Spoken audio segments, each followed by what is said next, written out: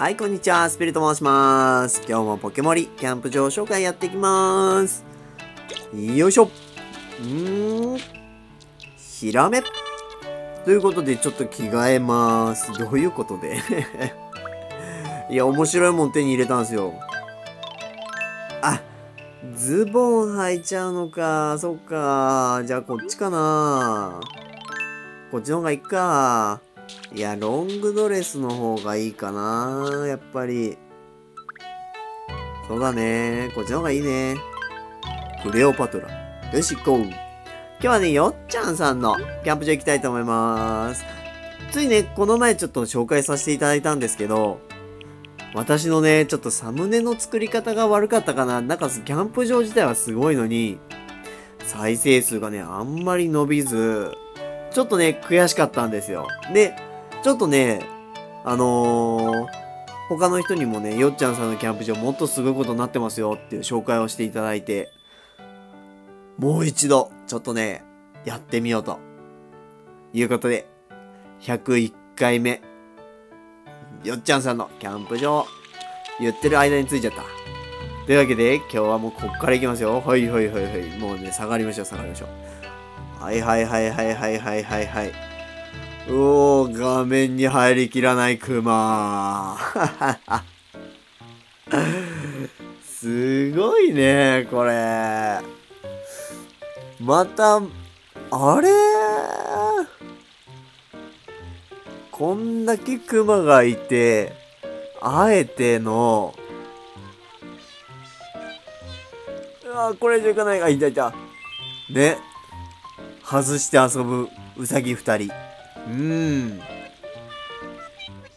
いやー、真ん中歌ってますよっていうかこれ、白樺、前衛も白樺になってる。すごいねもうぐるっと一周川回ってんですよ。はあ、奥は何だろう。奥は普通、普通っていうか山だね。いやー、これすごいねこれはもうサムネの威力。もう半端ないでしょ。ね。いや、ちょっと半端ねえって言いたかっただけです。すいません。では戻ります。はーい。というわけで、ね、ちょっとね、あの、よっちゃんさん直接ちょっと聞けたんですけど、触れるってクマさん。おもん？もん？後ろからいけんのかな？後ろから。あ、いけるいける。おっきすぎるからあれだね。映んないんだね。あ、後ろ回ればいいのかな？後ろ回って、ここだね。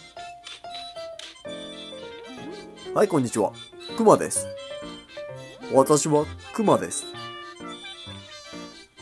はい、くまです。はい、失礼しました。うん。恥ずかしいからもうやらないでおこう。いやー、クマです。大量のクマです。画面に映りきらないほどのクマです。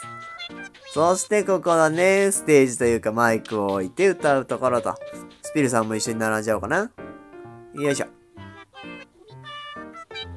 いいね、これも。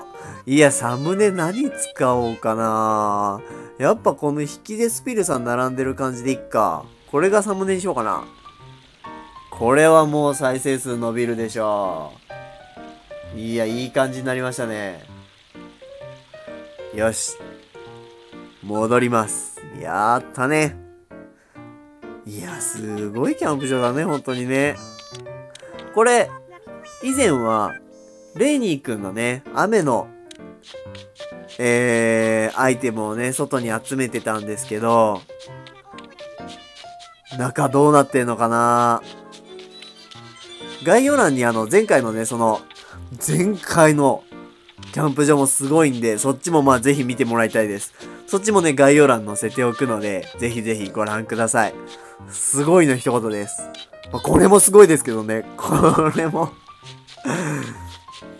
これもすごいけどもう、前回のもすごいです。さあ、中お邪魔しましょう。よっちゃんさんの車の中。お邪魔しまーす。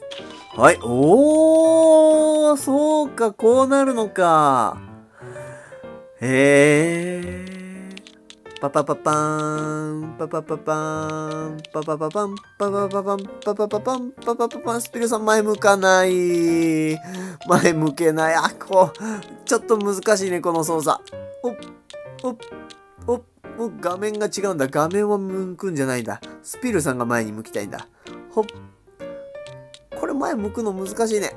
あー、出ちゃった。いいや、もう諦めよう。さあ、こうすればいいんだね、こうすれば。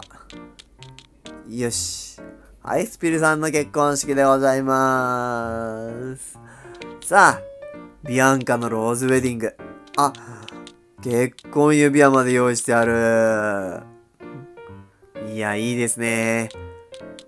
結構ね、この結婚式というよりも、えっ、ー、と、お披露目会、お披露目会、なんだっけ？お披露目会。二次会じゃなくて結婚式じゃなくて披露宴だ。披露宴のね、雰囲気が多かったですけど、車内でこうやって並べると、これは、あれですね、結婚式の雰囲気に見えてきますね。新郎がいない結婚式になっちゃいましたが。いや、スピルさん、中性だからな。新郎でもあり、新婦でもあるか。じゃあ、そういうことで。ということで、うん、上行きまーす。どういうことで？さあ、上はどうなってるかな？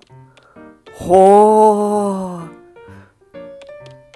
いいね。いい。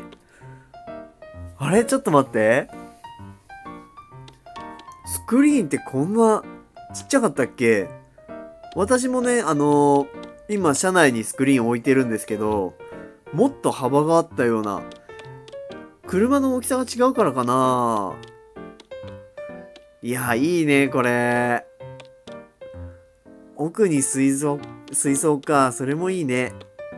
うん。薄暗い中にね、ほのかに映画、映画スクリーンが映るのと、この熊のライトが薄、薄く光ってるの。うん、いいですね。これね、熊の人形を潰さないように垂直に座らなきゃいけないんですけど、この雰囲気だと私はもう熊の人形を潰しながら寝ちゃいますね。あー、いいねあー、かっこいいわ。しずえちゃん歌ってる。うん。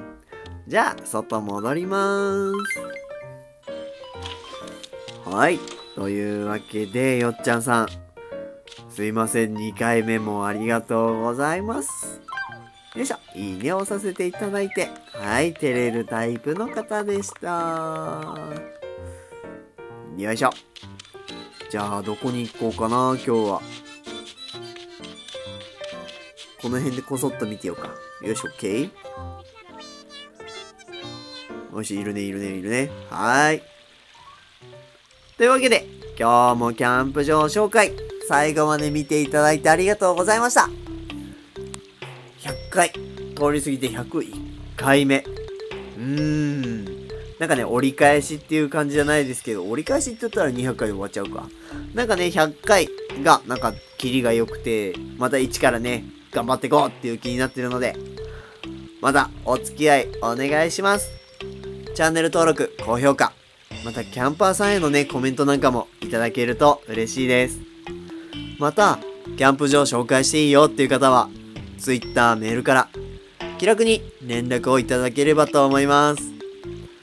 はい、というわけで、うん、白樺に、夜空に、この時計と、うーんの、その下にはもう、この、ファンシーなね、ぬいぐるみとメリーゴランド。いいですね。はい、というわけで、今日はこの辺で。また次の動画でお会いしましょう。じゃあね、スピルでした。またね